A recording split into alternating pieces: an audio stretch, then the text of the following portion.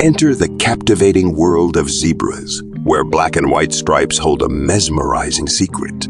These patterns create illusions, confusing predators and safeguarding zebras as a unified force. Just like our fingerprints, each zebra has a unique coat, making them truly one, of a kind, beyond their beauty. Zebras boast powerful legs and hooves, delivering mighty kicks to fend off lions and hyenas. And here's a fascinating tidbit. Those striking stripes also regulate their temperature. Black absorbs heat, while white reflects sunlight, providing a natural cooling effect.